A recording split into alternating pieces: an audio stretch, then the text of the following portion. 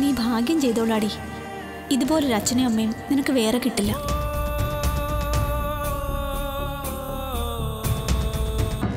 ഇനിയും ഞങ്ങളെ ചതിച്ച പിന്നെ ഒന്നും നോക്കില്ല. കസ്തൂരിയെ വെച്ച് തന്നെ ആദിത്യന്റെ ജീവിതം ഞാൻ തകർക്കും.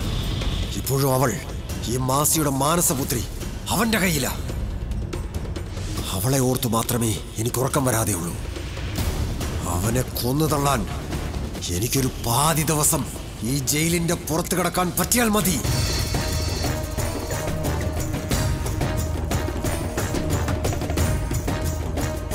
നിങ്ങളുടെ പേരിൽ കംപ്ലൈന്റ് കിട്ടിയിട്ടുണ്ടല്ലോ. ആർട്ടിസ്റ്റ് ശരചന്ദ്രൻ ആയതുകൊണ്ട് നേരിട്ടൊന്ന് അന്വേഷിക്കാൻ കരുതി. നിന്റെ റാണി ചേച്ചിയുടെ ദയ കൊണ്ട് എന്നെ പോലീസ് പൊക്കിയില്ല.